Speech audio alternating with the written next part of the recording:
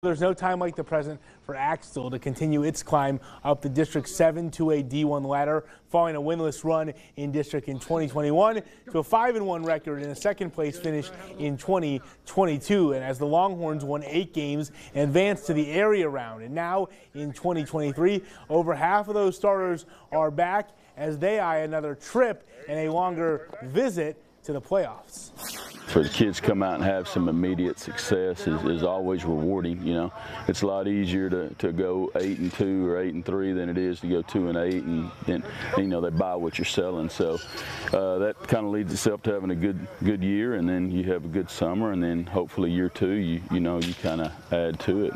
Right now, especially, we're not working on an opponent; we're working on Axtell, and so if, if we focus on ourselves and we continue to get better each and every week and each and every day, then you know, like I said, we got a chance to to, to win 10, 11, 12 ball games. The playbook's going to be a lot more open.